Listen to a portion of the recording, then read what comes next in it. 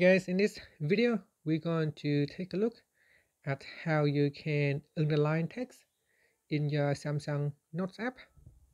So first let's go back to the home screen by tapping on the home button at the bottom of the screen then swipe up to go into the app screen and open up Samsung Notes.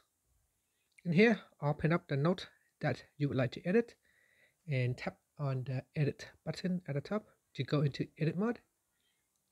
Once you are in edit mode, you want to select the text that you that you would like to underline.